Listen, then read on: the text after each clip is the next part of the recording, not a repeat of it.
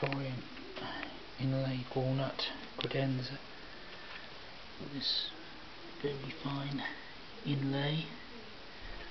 The central motif with purple heart banding around. Gilt brass mounts on the base. Lovely mouldings. Cast brass. The columns then are inlaid with gilt brass mounts. Fine inlay into the birch. Satinwood.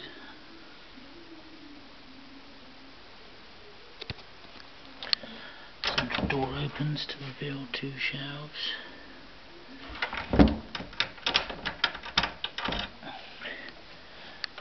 And then the end door, each end opens to walnut lined shelves.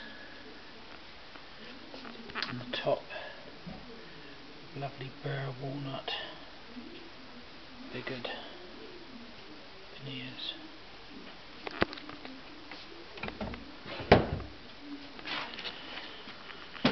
Beautiful piece.